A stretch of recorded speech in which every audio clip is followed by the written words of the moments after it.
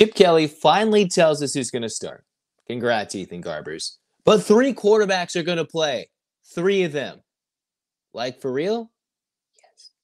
Yes. Yes. You are Locked On UCLA, your daily podcast on the UCLA Bruins. Part of the Locked On Podcast Network, your team every day.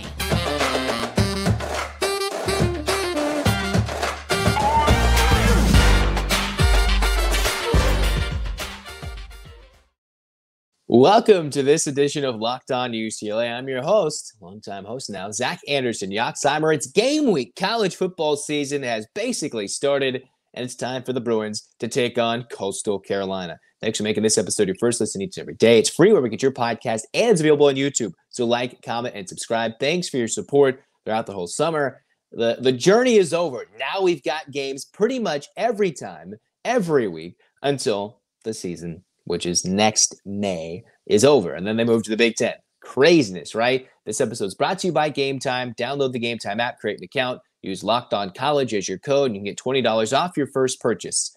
And if your first purchase is to go to see the UCLA Bruins take on Coastal Carolina, and you're wondering who the heck is the quarterback, Ethan Garbers. Ethan Garbers was named your starter, or maybe, as Chip Kelly might say him, say your first snapper. That's probably not what he would say. But well, what does that mean? What does this mean? for snapper. Because he told the media before the Monday practice, yeah, who's going to be your starting quarterback, right? Chip Kelly's been a bit mum.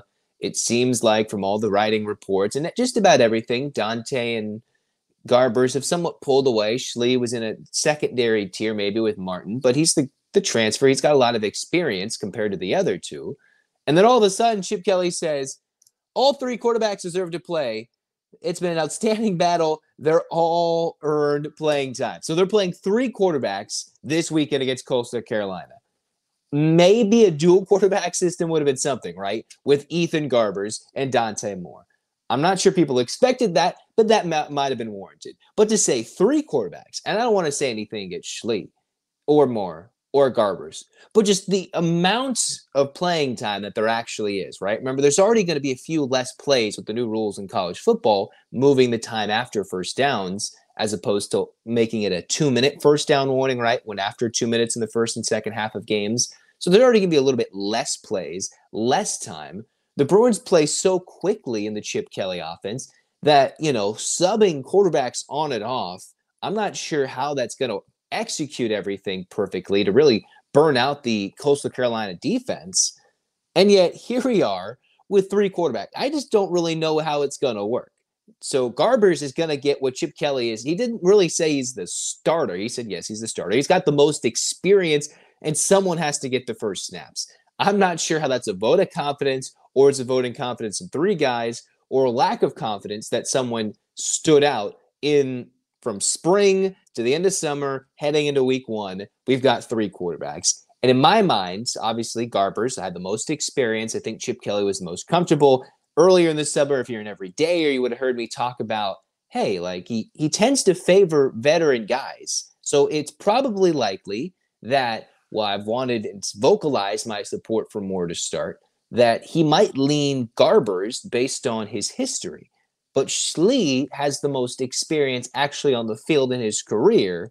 Garbers has the most experience in the Chip Kelly offense learning. He's got that experience, right? Playing in the bowl game and in various opportunities. And then you've got the exciting freshman Dante Moore, who Chip Kelly said, you know, he's got repetitive accuracy, is something he really loved, a good decision maker, just hasn't played in a game yet. So he's shown some great poise and grasp of the offense, very accurate, calm. I'm really excited about him, but obviously not enough to make him the starter or not to trust the true freshman to go out there and play against Coastal Carolina, who he uh, repeatedly said it's a good Coastal Carolina game, go, good Coastal Carolina team. They're under a new coaching staff, but they still got their three time quarterback conference player of the year, Grayson McCall, on the other side. Speaking of McCall, kind of in this quarterback thought, the Bruins did have a little mini conversation with McCall when he was in the portal. So imagine if McCall, who I believe in a various other reports somewhere, Kelly was asked about McCall. Yeah, we we talked to him. It didn't get really further, get much further than the early stages of just checking out academia, but the academics of it. but he did reach out. So they had some communication, like I talked about in December. So imagine all this nonsense kind of coming together while the Bruins are sitting here with three quarterbacks. And they even had a conversation with the opposition's quarterback, who is the three time reigning conference player of the year. Oh, man. I just don't know how it's going to work. I just think, obviously, Garbers is going to get the time. Then it should go Dante Moore. And I think Schlee will be used in specific packages. But Kelly, when asked the question on how the snap count, the drives are going to work, he said, We'll figure it out by the end of the week.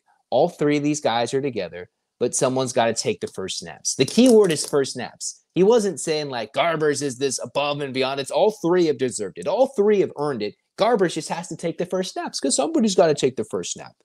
Eh, and he's never done this. Chip Kelly admitted he's never really done something like this. I'm not sure I've really seen something like this go like this. And maybe he's just messing with this this whole time, right? There'll probably be some sort of three quarterback system, but they all have their design packages.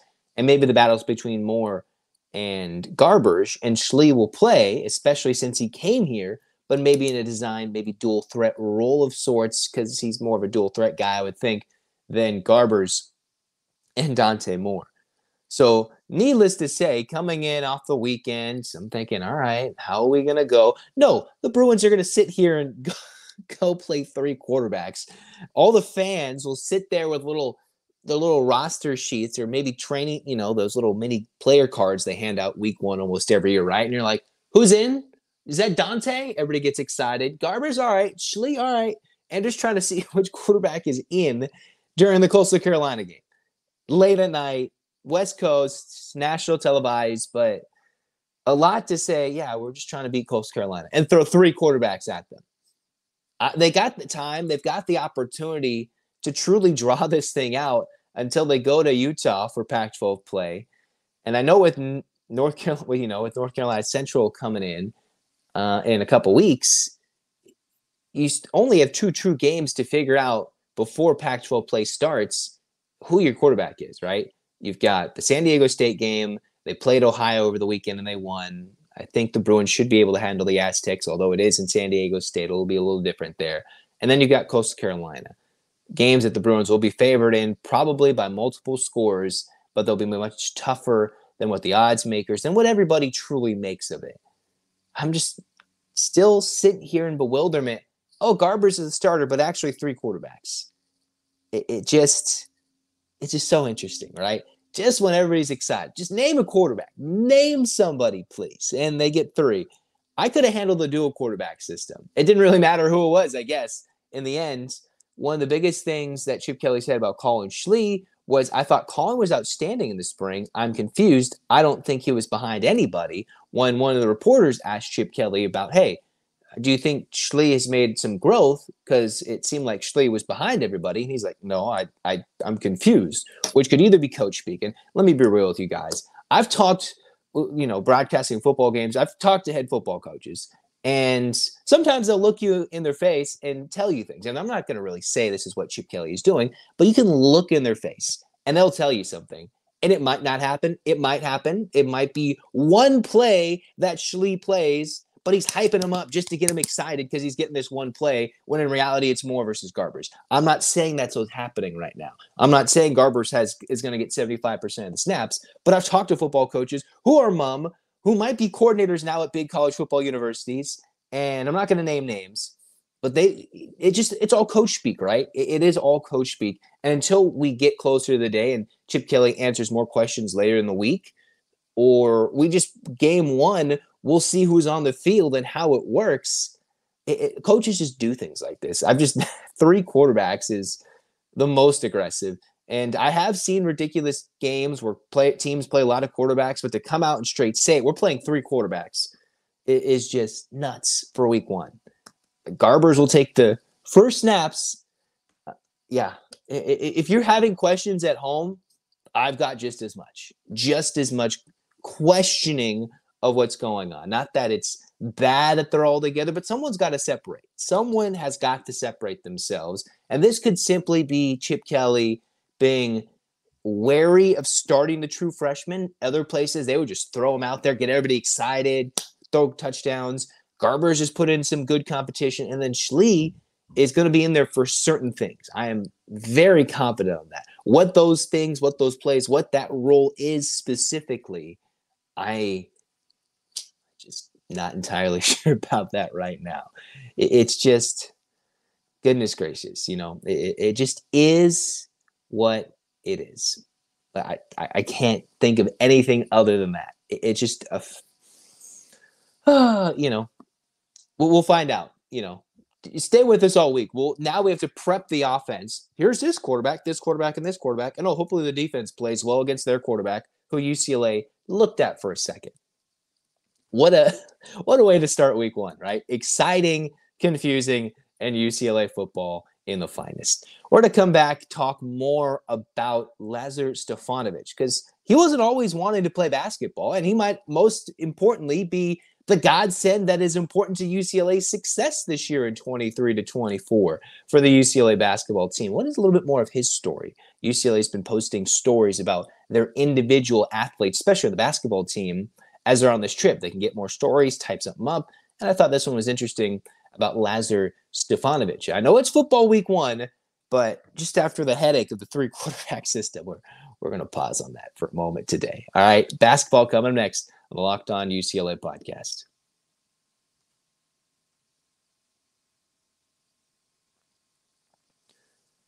Well, it's now time for your game changer of the week, brought to you by Athletic Brewing Company.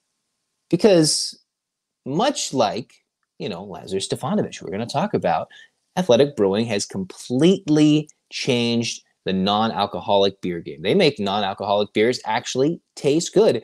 And they've changed the game for non-alcoholic beers because they actually taste good, full flavor, well crafted, and just like a full strength beer. Their brews are great tasting and award winning. They brew over 50 styles of craft non-alcoholic beer, including IPAs, golden, sours, and more. And they're constantly releasing limited edition material. They're fit for all times, so you can drink them anywhere, anytime, and make any activity even more enjoyable, including like the big games this weekend.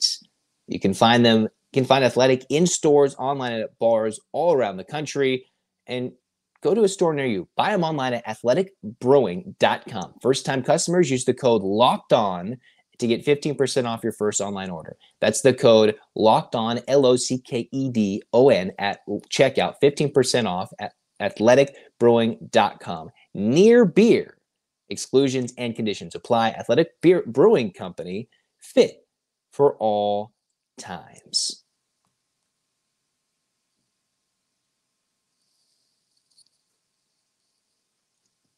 Welcome back, Locked On UCLA, second segment. We're talking Lazar Stefanovic, right? I was already really hyping him up after UCLA's win in their last game against not Madrid. I, it's blanking off the top of my head. The the Valencia basket team, who the Bruins put away late in their Spain trip. And while the Bruins don't play in the early, they do find their final game coming up. It's Lazar Stefanovic, who, when he was an early teenager, based on this UCLA Bruins.com article, it was the Stefanovic who wanted to play soccer, right? He was wanting to be a guy that played soccer more than basketball growing up of Serbia. He enjoyed playing both basketball and soccer. And just think the six-seven Lazar Stefanovic, who is athletic, a shooter, who can play multiple roles, wants to fill multiple roles this season for UCLA, wanted to play soccer. Basketball is something that my parents wanted me to do at first, as it's more of an indoor sport. Stefanovic was qu- quoted. Back then, I wanted to play soccer, and they're more in favor of basketball since it was inside, and I always seemed to keep getting sick as a kid. That's an interesting little tidbit, Stefanovic said. But after playing soccer for two or three years, it was a hard decision to make. And he was in his room, and he said he was flipping coins to see, like, okay, if it's heads, it's basketball. If it's tails, it's soccer. He flipped the coin, and he said, I don't like that. So he'd flip a coin a hundred times to make a decision whether he would play basketball or soccer. Chip Kelly honestly could have done this for his quarterback. Hey, let's flip a coin. Who's going to get the first snaps? Obviously, he did it. Or maybe he got some weird coin that was like, all right, we're going to do heads, make a starter, tails, make everybody's life go a little crazy. This is Chip Kelly I'm joking about, right? Flip a coin. And three quarterbacks, there it is, right? That's that's obviously not what happened.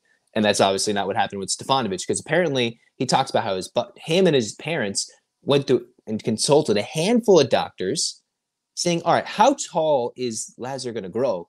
And they said, All right, he's about to be six four, six five. And they eventually said, All right, basketball is a really good route for Lazar. And in the end, he's like, I was better at basketball than soccer anyway. And he played on the top team in Serbia. Really loved tennis when he was younger, but eventually, as the all Pac 12 freshman team selection in 21 to 22 at Utah, averaged nearly nine points a game, three rebounds, and a couple assists during his first two years in Utah.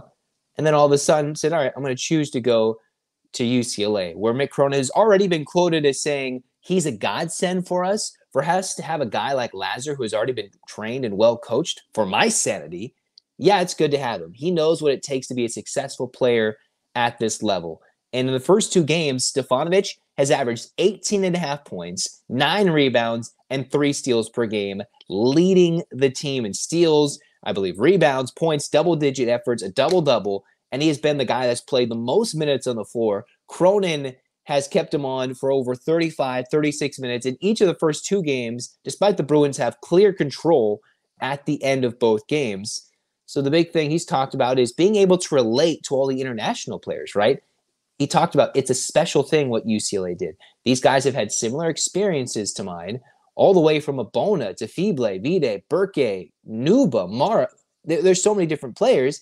And he says it's easier, Lazar, being quoted in this UCLA article, it's easier to talk, the, talk to them about certain things when I know what they've been through and how they've been coached. I know the system that they played in. So I know when they do something on the court and I know exactly why they did it and what they were thinking. It's a great experience for all of us. It's good for the culture. It's good for everyone on the team, both our American and non American players, which means it's already been talked about that Lazar has been growing as the vocal leader, whether you see various people trying to cover the team who are in Spain, even myself, referring to what Cronin's talked about, Stefanovic. So he's almost taken it upon himself as one of the older guys. I know Nwuba is two now, being the you know the guy, the six year, the, the extra COVID year. But Stefanovic is taking on his role like, hey, I can be this bridge who's already played a couple of years, had some success, know what's going through their minds, and help bring the chemistry together which might be a reason why he's going to earn the starting role for UCLA. And how he said, if you're going to play multiple positions and do multiple things, your coach is probably going to play more. So he's seen how that logic works, right? For Cronin, if you're going to only do one thing, offense or defense, it's not going to help you get on the floor. You need to play defense, and you got to be able to do something offensively, contribute, which is where Stefanovic understands being that veteran presence on the floor. That hey, if I can do more things, people might think of me as just a shooter, but he says, I know that most people think that I'm just a standstill shooter, but I would say I'm far away from that. That's not my game. I like to play on the ball and off the ball. I like to make the right reads and be in positions where I can make a decision. That's the main part of my game, constantly being able to make right decisions. And whether it's scoring, passing, or cutting, whatever it is, it doesn't really matter. Mostly the quote there it's about making the right play in every single moment that you can. That talks, that's a mature veteran answer who understands what he needs. Sounds like someone who is going to fit in quite well with Mick Cronin in terms of learning, growing, and you know, it's funny seeing what you guys throw out in the comments sometimes about where we expect the starting lineup to go. They could do the three super huge lineup, right? Bonamara, Berke, and then two guards. That would leave Stefanovic out, right? Stefanovic is clearly going to play, and I'm not sure the Bruins are going to go with the twin posts or the twin posts and Berke at the same time, uh, even though they're without Bona, Mara, and Berke right now to figure it out. Stefanovic is going to be the glue for this team. And it's interesting to see how he's already seen this. He was a 35% three point shooter last year in about 28, 29 minutes, averaging nearly 10 minutes per game. 10 minutes game, 10 points per game, 28 minutes per game in 32 games. And you know, it's going to be it's going to be fun for him. He's actually going to go see his parents after the end of the Spain trip. He's going to go visit them on vacation, see them, and then he'll come back to UCLA and then that's when the fun starts for Mick Cronin and the Bruins. Yet here we are. Stefanovic is the glue. He's seen it all. He's understanding where these other players are coming from and is really setting the tone, we believe, in this Spain trip for UCLA on the court because they're not practicing. Mick Cronin's already said we're going and sightseeing. We're we're enjoying our time and then playing games. We're reverse engineering how to grow this team without practice. And we know Mick Cronin wants to hammer it in during practice. And that's just not what they get. It's a fun experience, grow the team, put some players, some people in just different environments that they've never been in with different people, different cultures, which is the whole point of this trip. And Stefanovic has kind of seen it all, grown, gone to from Serbia, battling what sport he wanted to play, going to Utah, Salt Lake City, which is still vastly different from Westwood and Los Angeles, right? And just growing and wanting to be this guy, that glue, who understands it takes multiple roles. You've got to do multiple things and be good at various aspects and be able to help Cronin do different things. And Mick Cronin, I remember right before they left for Spain, we like to limit and we don't want to put too much in our younger players, right? Asking them to do multiple roles. But as Stefanovic has already referenced here in this article, to play more, you want to do that, which is why Cronin had talked about, yeah, we want Mack to focus on scoring the ball. So these younger players will be probably asked to do simpler tasks, right? When it comes to Mack, go get a bucket, which is probably why we didn't see a high assist number for UCLA for those first two games on made shots. Or might be someone like Afible. Hey, I know you're athletic. Go play some defense. Let's see you turn into that Jaylen Clark like defender that Cronin's already referred to him as. Stefanovic, there might be a little bit more bulk in the load. Cronin might be a little harder on him and have him to be that extra voice, that extra coach. Well, the Bruins already have those extra coaches for skills training and the expanded coaching staffs and he's going to be that coach on the floor, which will be important for UCLA. And it's a nice little article that the Bruins posted about his growth, flipping coins to decide if he's playing basketball or soccer. I think he made the right choice. And at the end of the year, I think the Bruins fans will know, all right, he made the right choice. Now, Chip Kelly flipping coins to see, all right, let's do Dante. Let's do Garbers. Schlee, uh, let's do three quarterbacks. Let's do a running back, wildcat. Who knows? You know, all all sorts of different things, right? Just flipping the flipping the. it, it is what it is. Just flipping coins. But a good story, and we're glad to have Stefanovic on the UCLA roster. Can't wait to get that whole team together. It's just, it's just something. What a what a time to be a UCLA fan. For good, better, for better or for worse, it, we'll find out pretty gosh darn soon. The other team on a big trip UCLA women's basketball. We'll talk about them to kind of end up this show on Locked On UCLA. Maybe things didn't go as good as we thought. We'll talk about that coming up next on the Locked On UCLA podcast.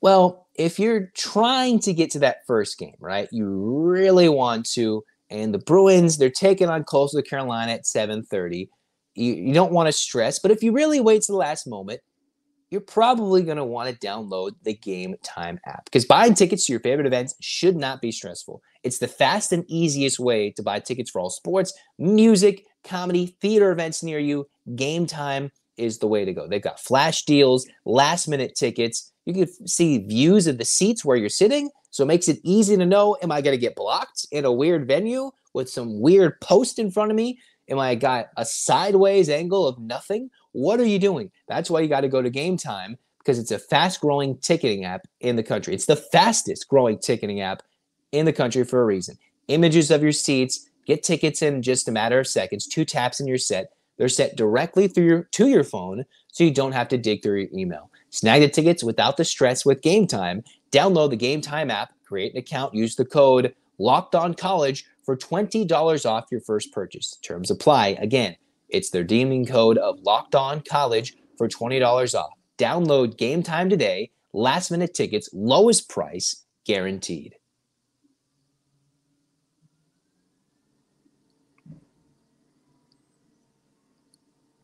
So we're going to wrap up things today with Locked On UCLA. Talk about women's hoops, right? A team that's supposed to be somewhat of a consensus top tier team in the country. They bring in a former number one recruit in the transfer portal, like Betts, coming over. You've got Bessoir, you've got Osborne, you've got all the fab freshmen turning into sophomores, two, two seniors who came back, two starting seniors like Brown and Osborne.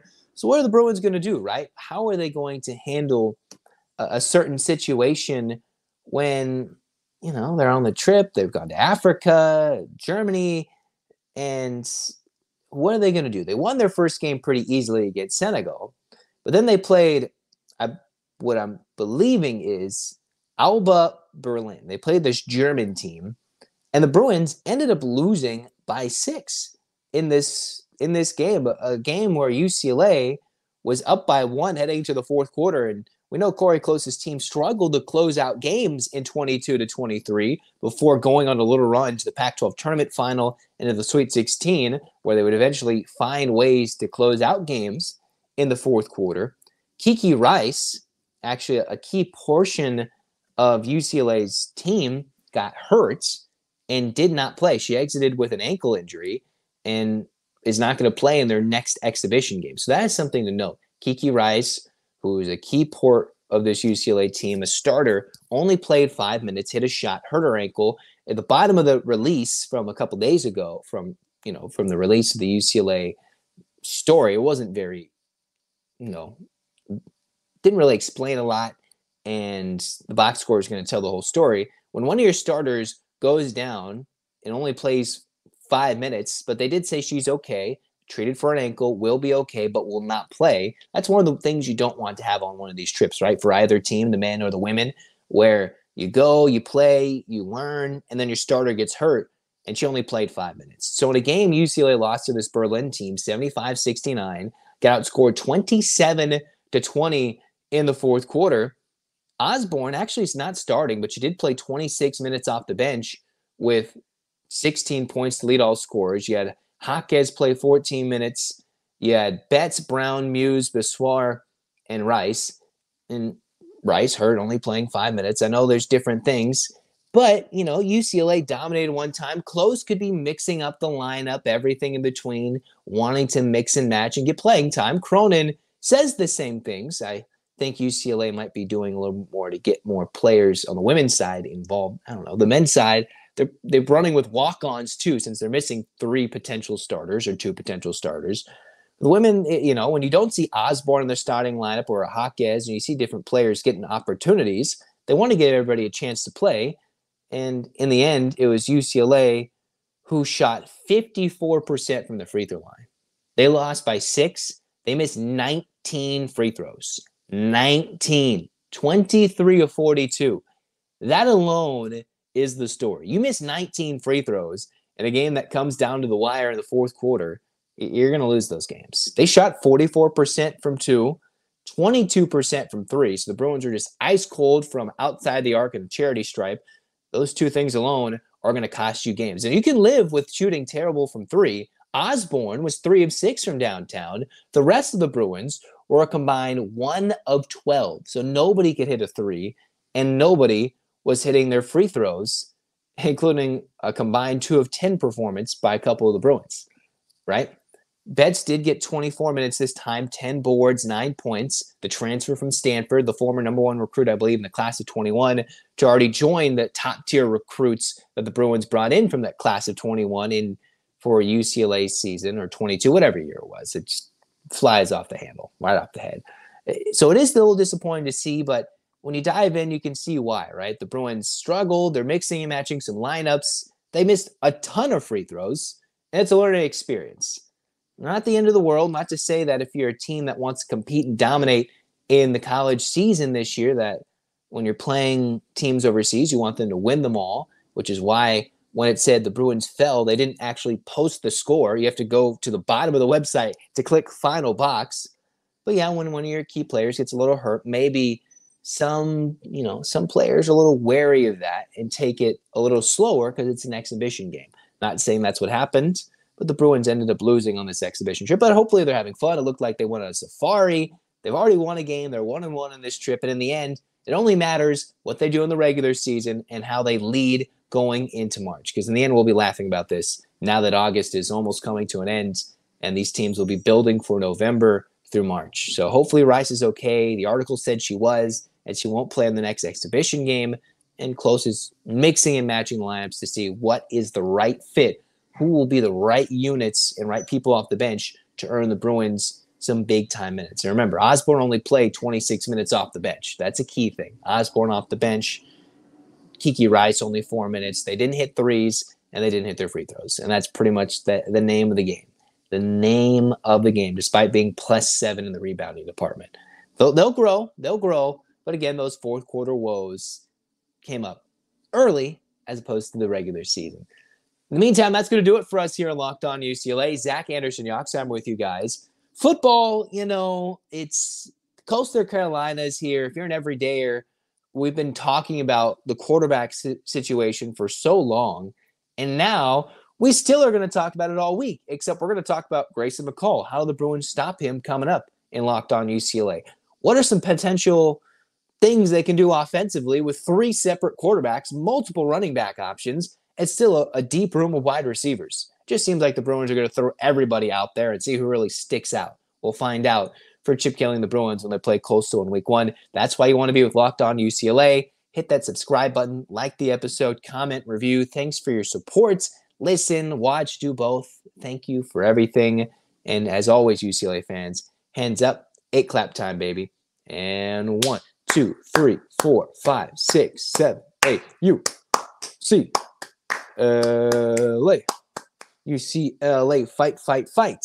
This has been Locked On UCLA. Go Bruins.